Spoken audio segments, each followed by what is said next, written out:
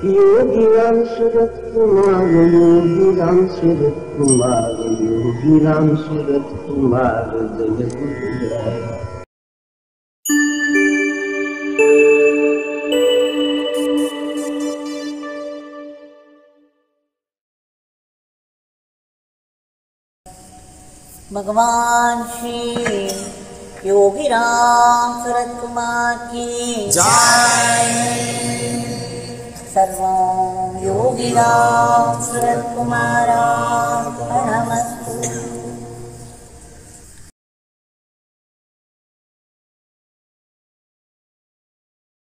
நம்முடைய பகவான் வாராணசிக்கு சென்ற பொழுது சிறுவனாய் வாராணசிக்கு சென்ற பொழுது கப்படியா பாபா தான்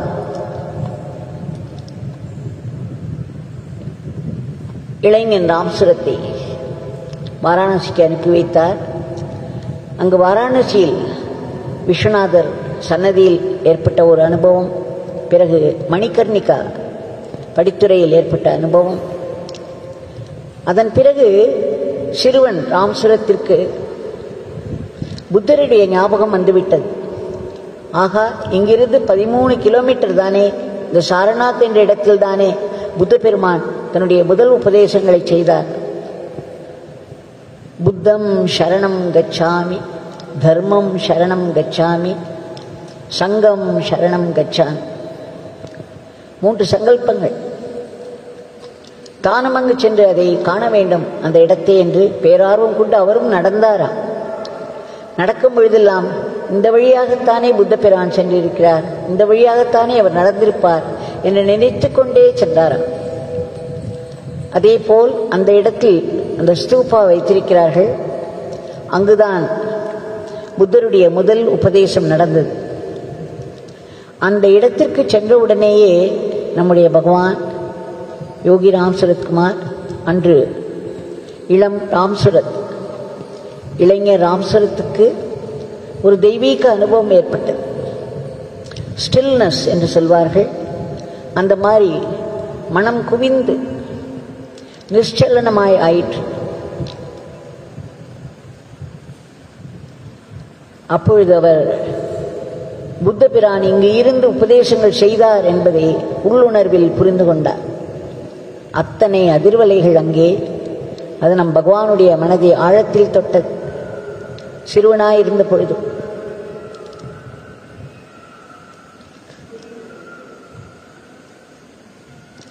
பகவான் அந்த இடத்தில் இருந்த பொழுது அவருக்கு ஏற்பட்ட அனுபவத்திற்கு பிறகு அவர் திரும்ப நர்தரா சென்ற பொழுது கப்படியா பாபா அவருடைய எண்ணங்களையும் அவருடைய சிந்தனைகளையும் புரிந்து கொண்டார். பிறகு சொன்னார் ராம்சுரத் நீ புத்த கயா சென்று வா என்று அனுப்பினார். அந்த கயா என்ற காட்டுப்பகுதியில் புத்த பிரான் ஆறு வருடங்கள் தவம் செய்தார். நம்முடைய இளைஞர் ராம்சுரத்தும் அந்த போதி மரத்தடியில் சென்றார். அந்த இடத்தை பார்த்தார். அவருக்கு பெரும் ஏக்கம் தீயாய் அவரை பற்றி கொண்டது. என்ன ஏக்கம்? புத்த பிரானுக்கு கிடைத்த அந்த ஞானோதயம். அந்த நாள் எனக்கும் வருமா? அந்த பாக்கியத்தை நான் அடைவேனா? என்னுடைய வாழ்நாளிலேயே எனக்கு இது கிடைக்குமா? என்றெல்லாம் பெரும் ஏக்கம் அவரை பீடித்துக் கொண்டது.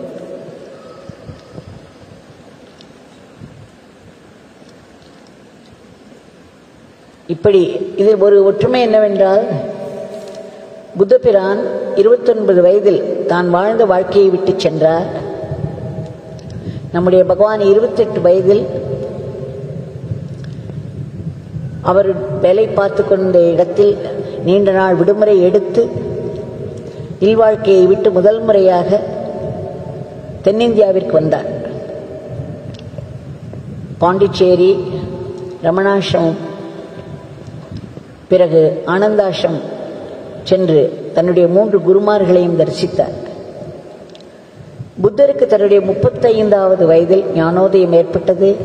நம்முடைய பகவானுக்கு முப்பத்தி நாலாவது வயதில் பப்பா ராம்தாஸின் காலடியில் ஓம் ஸ்ரீராம் ஜெயராம் ஜெய ஜெயராம் என்ற மந்திரத்தில் இடைவிடாத ஜபத்தினால் ஆறு இரவு ஆறு பகல்தான் சொன்னார் ஏழாவது நாள் அன்று அவருக்கு. இந்த நிர்வாணம் என்ற ஒரு பெரிய பேர் அனுபவம் கிட்டியது. தனி மனிதத்துவம் என்ற நிலையிலிருந்து விடுபட்டு அவர் பூரணத்துவம் பெற்றார். தன்னுடைய முப்பத்தி நாலாவது வயது. இந்த பகவான் அன்றைக்கு ஏங்கினார் அல்லவா? புத்தகையாவில் அதே போல் தர்மராஜ்கா ஸ்தூப்பாவில் நின்று கொண்டிருந்த பொழுது அவரை ஒரு பேரானந்தம் பேரானந்தம் ஏற்பட்டதில் திளைத்தார். அவர் ஏங்கியது போலவே அவருடைய முப்பத்தி நாலாவது வயதில் அவருக்கு பூரணத்துவம் கிட்டியது. பின்னால் பகவான் என்னிடம் சொன்னார் ஏனென்றால் பலர் அப்பொழுது நான் சொல்ல கேட்டிருக்கிறேன் அவர் படிப்படியாகத்தான் அவருக்கு அந்த அனுபவம் வந்தது. அவர் தவத்திலேயே மீண்டும் வந்தார். பகவான் திருவண்ணாமலை வந்து அந்த புண்ணிய மரத்தடியில் வந்து தவம் செய்துதான் அவருக்கு பூரணத்துவம் ஏற்பட்டது. என்றெல்லாம் பலவிதமான பேச்சுக்கள் வந்தன. அப்பொழுது சுதாமாவில் நான் கேட்டேன் ஏன் பகவான் நீங்கள் சொல்கிறீர்கள் ஆயிரத்தி தொள்ளாயிரத்தி ஐம்பத்தி ரெண்டில் பப்பா ராமதாஸின் காலடியில் இந்த பிச்சைக்காரர் இறந்து விட்டார். அதன் பிறகு என் தந்தைதான் எல்லாம். இந்த பிச்சைக்காரனின் எண்ணம் சொல் செயல் எல்லாம் அவர் முழுமையாக ஆட்கொண்டு அவர்தான் இதை நடத்தி வருகிறார் என்று நீங்கள் சொன்னீர்களே. ஆனால் பலர் உங்களுக்கு அந்த இடத்தில் பூரணத்துவம் ஏற்படாதது போல் படிப்படியாக அது தவத்தில் வந்தது. திருவண்ணாமலையில் தான் ஏற்பட்டது என்றெல்லாம் பேச்சு அடிபடுகிறதே என்று கேட்டபொழுது பகவான் தான் புகைப்பிடித்துக் கொண்டிருந்த அந்த சிகரெட்டை கீழே வைத்துவிட்டு என்னை பார்த்து ஆவேசம் வந்தார் போல் சொன்னார். தேவிக்கு யார் என்ன வேண்டுமானாலும் சொல்லட்டும். இந்த பிச்சைக்காரன் சொல்கிறேன். ஆயிரத்தி தொள்ளாயிரத்தி ஐம்பத்தி ரெண்டாம் ஆண்டு என்னுடைய தந்தை பப்பா ராமதாஸின் திருவடி தாமரைகளை இந்த பிச்சைக்காரர் முற்றிலும் இறந்து விட்டார். அப்பொழுது ஏற்பட்ட நிலை என்னவோ அதே நிலையில்தான் இன்று வரை இந்த பிச்சைக்காரன் இருந்து கொண்டிருக்கிறேன். இதில் மாற்றமே இல்லை. என்று பெரிதாக சொன்னார். ஆவேசம் வந்தார் போல் பேசினார். அதன் பிறகு நடந்தவையெல்லாம் அவருடைய மிஷன் சம்பந்தமாக ஏற்பட்ட சூழ்நிலைகள் தான் அவருடைய ஞான நிலையில் எந்த மாற்றமும் இல்லை. பூரணத்துவம் ஏற்படும் பொழுது பூரணத்துவம் தான் அது. இதை பகவான் அன்றைக்கு மிக தெளிவாக மிக உரத்த குரலில் ஆவேசத்தோடு சொன்னார். அதன் பிறகு என்னுடைய சந்தேகம் தீர்ந்தது. அதன் அதே நிலையில் தான் இன்று வரை இருக்கிறான் இந்த பிச்சைக்காரன் என்று சொன்னார். இப்பொழுது நாம் காட்சியை சற்று மாற்றிக்கொள்வோம். சென்னை தெரு வீட்டில் ஒரு நாள் ஜூலை மாதம் ஒன்றாம் தேதி ஆயிரத்தி தொள்ளாயிரத்தி எழுபத்தி ஒன்பதாம் வருடம். அகரம் ஜெயராமன் உட்கார்ந்து கொண்டிருக்கிறார் அங்கே. மதியம் ஒரு மணி இருக்கும். ஒரு குடும்பத்தினர் உள்ளே நுழைகிறார்கள். அவர் ஜஸ்டிஸ் ராமகிருஷ்ண ஐயர். அவருடைய குடும்பம் அவருடைய மகன் திரு வெங்கடேசன் அவர்கள் உள்ளே நுழைகிறார். அவர் மனைவி அவருடைய பிள்ளை அவர் பெயரும் ராமகிருஷ்ணன் அவர்கள் எல்லோரும் நுழைகிறார்கள். பகவான் ஒவ்வொருவரையும் நன்கு கூர்ந்து பார்த்து ஆசிர்வதித்தார்.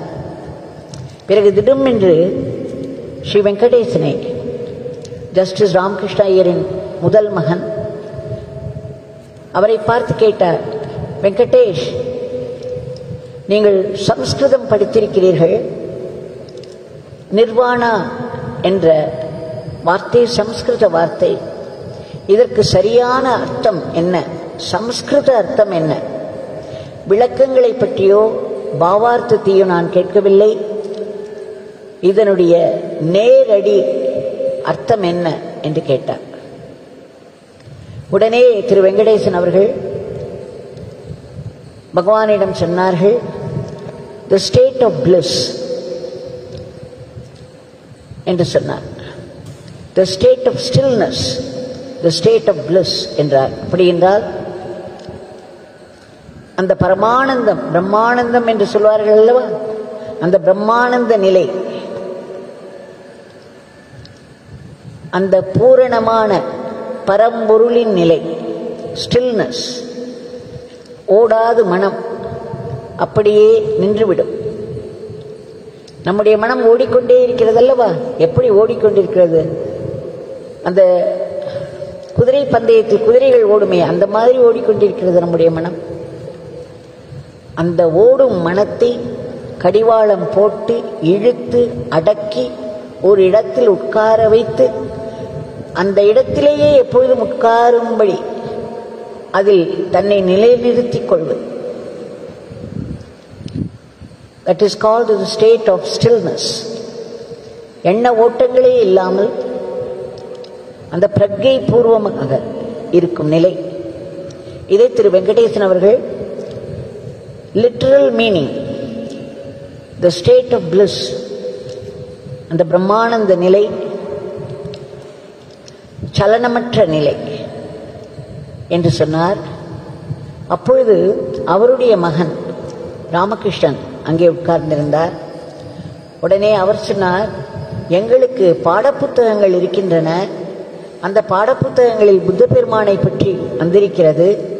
அதில் அவர் எட்டு பாதைகளை பற்றி பேசுகிறார். இந்த நிர்வாண நிலையை அடைவதற்கு அதில் ரைட் திங்கிங் ரைட் ஆக்ஷன் என்ற இரண்டை எடுத்துச் சொல்கிறார் என்று அந்த பையன் சொன்னார். அதாவது நற்சிந்தனை நற்செயல் என்று இந்த இரண்டு வார்த்தைகளை ராமகிருஷ்ணன் சொன்னார். உடனே பகவான் பிடித்துக் கொண்டார். ராமகிருஷ்ணா நீ சொல். நற்செயல் என்றால் என்ன? என்று கேட்டார். உடனே அந்த பையன் சொன்னார் சுவாமி நான் படித்த வரையில் யாருக்கும் எந்த தீங்கும் செய்யாமல் இருத்தல் மற்றவர்களுக்கு நல்லது செய்தல். இதைத்தான் நற்செயல் என்று சொல்கிறார்கள் என்றார். உடனே பகவான் சொன்னார் யாருக்கும் எந்த தீங்கும் செய்யாமல் இருக்கிறது என்று சொல்கிறாய். அஹிம்சை என்றும் அதை சொல்வார்கள். இப்பொழுது நான் ஒரு கேள்வி கேட்கிறேன் ராமகிருஷ்ணா. அதற்கு நீ பதில் சொல் என்றார். பிறகு பகவான் சொன்னார் பகவான் கிருஷ்ணர் இருக்கிறாரே அவர் அர்ஜுனனை தூண்டி இதோ உன்னுடைய உற்றார் உறவினர் எதிரே நிற்கின்றார்கள். ஆனால் நீ யோசிக்காதே அவர்களை கொல்ல வேண்டியது உன்னுடைய தர்மம் என்று சொன்னார். ராமகிருஷ்ணா கிருஷ்ணர் பகவான் அல்லவா? அவர் போய் அர்ஜுனனை பார்த்து இதோ எதிரே இருக்கும் முற்றார் உறவினர்களை எல்லாம் நீ கொல் அதுதான் உன் தர்மம் என்று சொல்கிறாரே இது எப்படி சரியாகும் என்று கேட்டார். பகவான் எப்படி ஆழம் பார்க்கிறார் பாருங்கள். உடனே அது மட்டுமல்ல அந்த கேள்விக்கு யாருக்குமே பதில் தெரியவில்லை. பிறகு அவர் ராமகிருஷ்ண ராமகிருஷ்ணாவை பார்த்து சொன்னார் இப்பொழுது உன்னை தனியாக ஒரு அறையில் வைத்திருக்கிறார்கள். அந்த இடத்தில் ஒரு நல்ல பாம்பு இருக்கிறது. நீ என்ன செய்வாய்? அதை அடித்துக் கொள்வாயா? அல்லது அதற்கு தீங்கு செய்யக்கூடாது என்று அப்படியே பேசாமல் இருந்து விடுவாயா? என்று கேட்டார். உடனே ராமகிருஷ்ணன் நான் இறைவனிடம் வேண்டிக் கொள்வேன். எனக்கு தயவு செய்து இந்த சூழ்நிலையிலிருந்து என்னை காப்பாற்றுங்கள் என்று வேண்டிக் கொள்வேன் என்று கைகளை கூப்பி சொன்னது அந்த பையன். பகவான் புன்னகைத்தார். பிறகு பகவான் அவரை ஆசிர்வதித்தார். ராமகிருஷ்ணனை ஆசிர்வதித்தார். அதன் பிறகு தான் இந்த கேள்வி கேட்டார். பகவான் கிருஷ்ணர் அர்ஜுனனை தூண்டி தன்னுடைய உற்றார் உறவினர்களை அந்த போரில் கொல்ல வைத்தது நியாயமா? அது தர்மமா? என்று கேட்டார். வேறு யாருமே பதில் சொல்லாமல் இருக்கவும் உடனே பகவானே சொன்னார் அர்ஜுனன் சத்திரியன் அதனால் அவனுக்கு சத்திரிய தர்மம் முறித்தாகும். அந்த சத்திரிய தர்மத்தில் தர்மத்தை காப்பதற்காக அதர்மத்தில் ஈடுபடுபவர்கள் அனை அனைவரையும் அழிக்கத்தான் வேண்டும். தீங்கு செய்யும் உயிர்கள் தீங்கு செய்யும் மனிதர்கள். அவர்களை அழித்தால்தான் அதர்மம் ஒழியும் என்றால் அந்த தீங்கு ஒழியும் என்றால் அவர்களை அழிக்கத்தான் வேண்டும். அதுதான் தர்மம். அது சத்திரியருக்கு தர்மம். எப்படி பிராமணர்களுக்கு வேதம் ஓதுவதும் அதற்கான தவம் இருப்பதும் வேறு ஒன்றையும் நினைக்காமல் இறைவனிடத்திலேயே மனதை வைத்து வேதம் யாகம் செய்வதையும் பூஜை செய்வதையுமே தன்னுடைய கருத்தாக கொள்வது பிராமணர்களுக்கு தர்மம் அதேபோல் சத்திரியர்களுக்கு தீங்கு செய்பவர்களை வென்று அல்லது கொன்று நாட்டில் நாட்டு மக்களை அதர்மத்திலிருந்து காப்பாற்ற வேண்டும். அதுதான் அவர்களுக்குரிய தர்மம் என்று சொன்ன பகவான். பிறகு சொன்னார் மறுபடியும் வெங்கடேசனை பார்த்து கேட்டார் வெங்கடேஷா நீ இன்னும் ஒரு முறை சொல் நிர்வாணம் என்றால் என்ன என்று சொன்னாய்? உடனே அவர் சொன்னார் the state of fullness the state of stillness the state of bliss என்று சொன்னார். அதாவது நிறை நிறைநிலை சலனமற்ற நிலை பூரணத்துவம் என்பதை அவர் இப்படி சொன்னார். நிறைநிலை சலனமற்ற நிலை பேரானந்த நிலை என்று சொன்னார். உடனே பகவான் பகவத்கீதையிலிருந்து ஒரு ஸ்லோகத்தை முன்பே இதை நாம் பார்த்திருக்கிறோம். அப்பூரியமானம் என்று ஆரம்பிக்கும் அந்த ஸ்லோகம். அதற்கான அர்த்தத்தை பகவான் சொன்னார். எப்படி ஒரு கடலானது நிரம்பி இருக்கிறது? கடலுக்கும் ஒரு பவுண்டரி ஒரு எல்லை வைத்திருக்கிறான் இறைவன். அந்த எல்லை வரை அந்த ச- சமுத்திரம் எப்பொழுதும் நிரம்பி இருக்கும். அந்தந்த கால பருவ காலங்களில் கங்கை கோதாவரி யமுனை நர்மதா சிந்து காவேரி இப்படி எல்லா நதிகளிலிருந்தும் நீர் வந்து கொட்டும். அத்தனை நீர் வெள்ளப்பெருக்கு வந்து அந்த சமுத்திரத்தோடு சேர்ந்தாலும் சமுத்திரம் தன்னுடைய எல்லையை தாண்டுவதில்லை. அது எப்பொழுதும் அதே நிலையில் நிரம்பி இருக்கும். அது பொங்கி வழிவதில்லை. அதேபோல் பருவகாலங்களின் விளைவாக தண்ணீர் எல்லாம் வற்றி மிகுந்த கொஞ்ச நேரே நீரே சமுத்திரத்தில் வந்து விழும் பொழுது அதற்காக சமுத்திரம் சுருங்கி விடுவதில்லை. அதனுடைய எல்லையில் இருந்து அது கீழே போவதில்லை. எப்பொழுதும் நிறை நிலையில் இருக்கிறது. நடுநடுவே பெரிய பெரிய அலைகள் எழும்பி காற்றின் அழுத்தத்தால் அந்த அலைகள் எழும்பி ஆரவாரிக்கும் பொழுதும் சமுத்திரம் தன்னுடைய பவுண்டரியை தன்னுடைய எல்லையை தாண்டுவதில்லை. சமுத்திரத்தின் ஆழத்தில் அப்பேற்பட்ட ஒரு பேர் அமைதி இருக்கும். நிశ్చலனமாயிருக்கும் அந்த ஆழம். என்று சொல்லி அது ஒரு ஸ்டேட் ஆஃப் ஃபுல்னஸ் என்று சொன்னார் அதே மாதிரி மகா ஞானிகள் அந்த ஸ்டேட் ஆஃப் ஃபுல்னஸில் இருப்பார்கள். அந்த பெரும் நிறைநிலையில் இருப்பார்கள். வாழ்க்கையில் நடக்கும் எந்த ஒரு நிகழ்ச்சியும் அவர்களை மாற்ற முடியாது.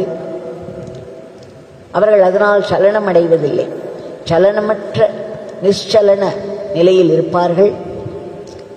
வாழ்க்கையில் எத்தனை கஷ்டங்கள் வந்தாலும் அவர்களுடைய நிறைநிலை பூரணத்துவம் மாறுவதில்லை. இதைத்தான் நிர்வாணம் என்று சொன்னார். மிக அழகாக பகவான் சொன்னார். ஒரு பெரிய சமுத்திரம் போல். எப்பே எந்த ஒரு நிலையிலும் பொங்கி வழிதலோ அல்லது சுருங்குதலோ இல்லாமல் எந்த துன்பங்களினாலும் எந்த மாற்றமும் காணாமல் பேரானந்த நிலையில் நிశ్చலனமான நிலையில் இருப்பதுதான் நிர்வாணம் என்று சொல்லிவிட்டு அதோடு விடவில்லை. மறுபடியும் ராமகிருஷ்ணனை பார்த்தார். ராமகிருஷ்ணா நீ சொன்னாய் அல்லவா நற்செயல் என்று. அந்த நற்செயல் என்ன தெரியுமா? நம் அனைவருக்கும் நிர்வாணம் கிட்டும் என்பது கிடையாது. ஏதோ லட்சத்தில் கோடியில் ஒருத்தருக்கு கிடைக்கலாம். ஆனால் நமக்கே நிர்வாணம் கிடைக்காத நிலையில் நல்ல செயல் என்று நாம் எதை சொல்லலாம் என்று சொல்லிவிட்டு பகவானே அதை வரையறுத்தார். பகவான் சொன்னார் அந்த நிர்வாண நிலையில் இருக்கக்கூடிய மகாத்மாக்களுக்கு தொண்டு செய்வதுதான் நற்செயல் என்று விளக்கம் கொண்டு சொன்னார். நம்மால் நிர்வாண நிலையை அடைய முடியாது. அப்படி இருந்தால் நாம் செய்ய வேண்டிய நல்ல சிந்தனை நல்ல செயல் எது? அந்த நிலையை அடைந்த மகாத்மாக்களுக்கு அவர்கள் விருப்பப்படி அவர்கள் நினைப்பது போல் நாம் சேவை செய்வதுதான் என்று முடித்தார். இதுதான் நமக்கு இன்றைக்கு பகவான் புத்த பூர்ணிமா அன்று அளிக்கும் செய்தி. பகவானுக்கு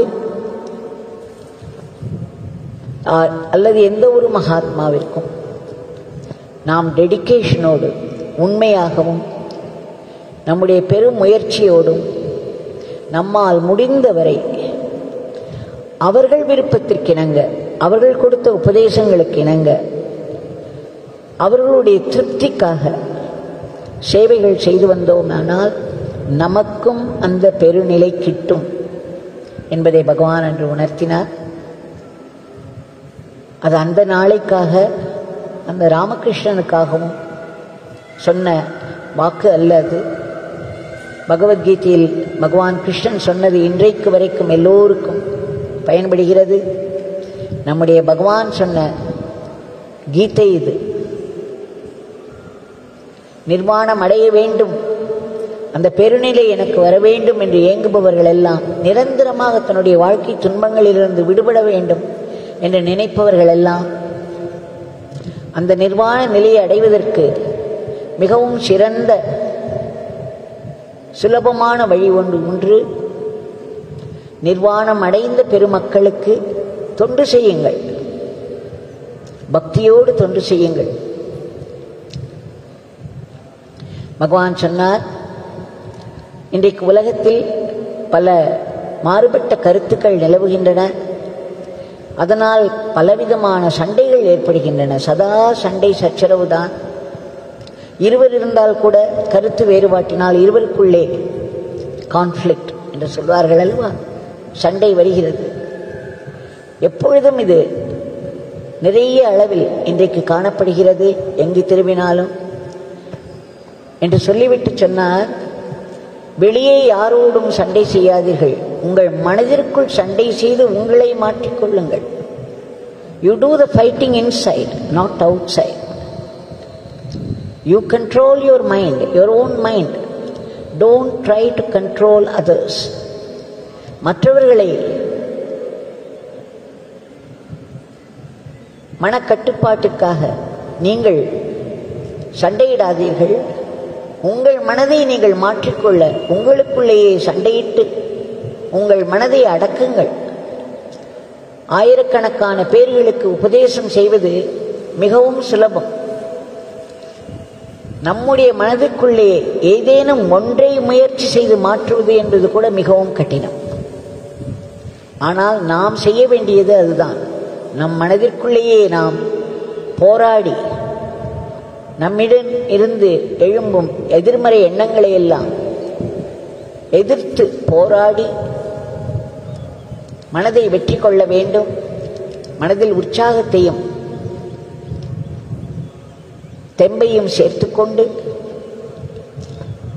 நம்முடைய குருநாதருக்கு நம்மால் முடிந்த அளவுக்கு பணிவோடு அவருடைய திருப்திக்காக சேவையை செய்த வண்ணம் இருக்க வேண்டும். வெளியே யாருடனும் சண்டை செய்தலை விட்டு நீங்கள் உள்ளே உங்களுடனேயே சண்டை போட்டுக்கொண்டு உங்களிடம் இருக்கும் வேண்டாத எண்ணங்களை எல்லாம் மாற்றிக்கொள்ளுங்கள். உங்களை நீங்கள் பக்குவப்படுத்திக் கொள்ளுங்கள். குருநாதருக்கு மிகவும் உண்மையாக சேவை செய்யுங்கள் என்று முடித்தார். இது அத்தனையும் ஒன்று விடாமல் அகரம் ஜெயராமனுடைய டைரியில் பார்க்கலாம். முத்து முத்தாய் பகவானுடைய வாயிலிருந்து நமக்கு இன்றைக்கு வாழ்க்கையில் என்ன வேண்டுமோ அதை அத்தனை அழகாக பகவான் எடுத்து சொல்லியிருக்கிறார். அந்த பகவானையோ இதோ நம் கண்முன்னே நின்று கொண்டிருக்கிறார். கையை உயரே தூக்கி ஆசீர்வதித்தபடி இருக்கிறார். அவருடைய கண்கள் அந்த ஸ்டேட் ஆஃப் ஸ்டில்னஸ் என்று சொல்வார்கள் அல்லவா? த ஸ்டேட் ஆஃப் ஃபுல்னஸ் சமுத்திரம் நாம் பார்க்கும் ஒரு பெரிய ஆழ்ந்த பரந்த கடல். அதற்கு சமமானவர்கள் மகாத்மாக்கள். அவர்கள் அந்த பெருநிலையில் ஆனந்தத்தில் திளைத்த வண்ணம் இருக்கிறார்கள். பகவானுடைய கண்களை அருகே சென்று பார்த்தீர்களானால் அது மேலே செருகியபடி இருக்கும். பிரம்மரந்திரத்தை நோக்கி இருக்கும். அப்பேற்பட்ட ஒரு ஆழ்ந்த சமாதி நிலை பூரணத்துவ நிலையை அது குறிக்கிறது. ஆனாலும் அவருடைய உதடுகளில் புன்னகை கைகளோ அபயஹஸ்தம். ஒரு கை தூக்கி இதோ நான் இருக்கிறேன் பயப்படாதீர்கள் நான் உங்களை காப்பாற்றுவேன் நீங்கள் என் பெயரை சொல்லி அழையுங்கள். என்னை கூப்பிடுங்கள் என்னை நினையுங்கள் நான் ஓடி வந்து உங்களை காப்பாற்றுவேன் என்று சொல்கிறது. இன்னொரு கை அவர் விடாமல் ஜபம் செய்து கொண்டிருந்தார் அல்லவா? அவருடைய பெருவிரலும் ஆள்காட்டி விரல் அந்த ஜபத்தை காண்பிக்கிறது நாம் என்ன செய்ய வேண்டும் என்பதை. அவருடைய நாமத்தை நாம் இடைவிடாது உச்சரிக்க வேண்டும். அவருடைய கை எப்படி அசைந்து கொண்டிருந்தது அவர் என்ன காரியத்தில் ஈடுபட்டிருந்தாலும் அவருடைய கை அவருடைய விரல்கள் சதா ஜபத்தில் ஈடுபட்டு கொண்டிருக்கும். நாம் செய்ய என்ன செய்ய வேண்டும் என்பதை ஒரு கை காட்டுகிறது. அவர் என்ன செய்கிறார் என்பதை இன்னொரு கை காட்டுகிறது. அவருடைய புன்னகை நமக்கு ஒரு பெரும் ஆறுதலையும் மகிழ்ச்சியும் அளிக்கிறது. அவருடைய கண்கள் அவரை பேர்பட்ட ஆழ்ந்த சமாதி நிலையில் இருந்து கொண்டு அதன் வெளிப்பாடாக அன்பையும் அபயத்தையும் நமக்கு தந்து கொண்டிருக்கிறார் என்பதை உணர்த்துகிறது.